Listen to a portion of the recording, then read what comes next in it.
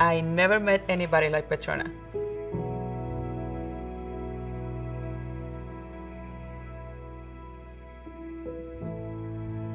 Petrona is very optimistic. If she was not optimistic, she will not be where she is right now, trying to take care of herself, you know, helping others. That's what motivates her. My job is to help Aetna members with their health problems.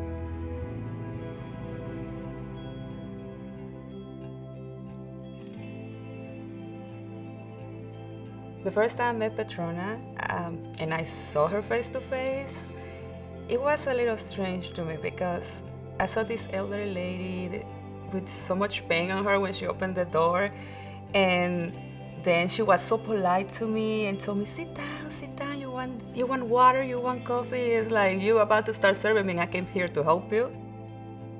Es muy importante tener alguien que, que, que nos haga ser familiar, alguien que nos haga sentir como en casa. Her barrier is that she cannot speak English fluently like she would like to. So by being with her, I can help her to express what she needs to express to the doctors. So far, I helped her turn with her medications. That was like the main goal. I looked through all the medications she had and wrote in Spanish in the bottle, okay, this is for this, you have to take it this amount of time.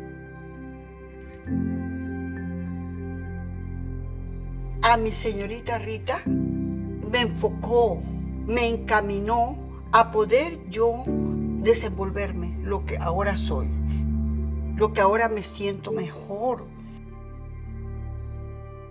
Me está rompiendo la barrera.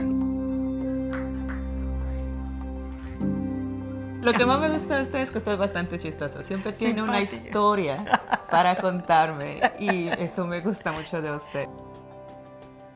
When I first met her, she was positive in a lot of things, but she was sad. Now that I'm with her, and I'm helping her to get what she needs. She seems more positive in life. She is making progress. Little by little, but she's really doing it.